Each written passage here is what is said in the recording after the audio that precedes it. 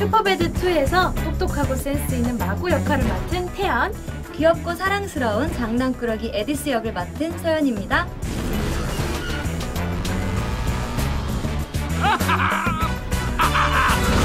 일편에서는 그루 아빠가 세계 최고의 악당이 되려고 했다가 딸바보가 그쵸. 있잖아요. 이번에는 정말 딸들을 너무 사랑하는 super daddy의 모습으로 정의를 위해 싸우는 히어로로 변신을 했는데요.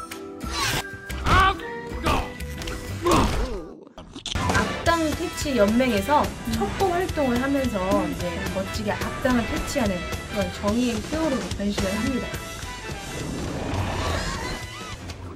아무래도 시간이 흘렀다 보니 흐르다 보니 마고가 좋아하는 남자친구가 생깁니다. Hey, what's wrong? I hate boys. Yes, they stink.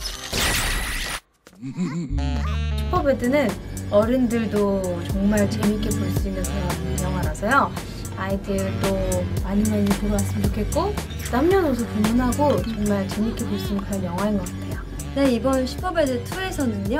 어, 블록버스터 영화의 액션 같은 장면도 굉장히 많지만 또 굉장히 가족적이고 따뜻한 에피소드도 많이 등장합니다. Good night, Agnes. Never get older. 보는 재미 많이 있으실 것 같고요. 많이 많이 기대해 주세요. 저희 소녀시대 태연, 서현과 그리고 귀여운 미니언들과 함께 슈퍼배드 2가 돌아왔습니다. 여러분 많이 많이 보러 와주세요.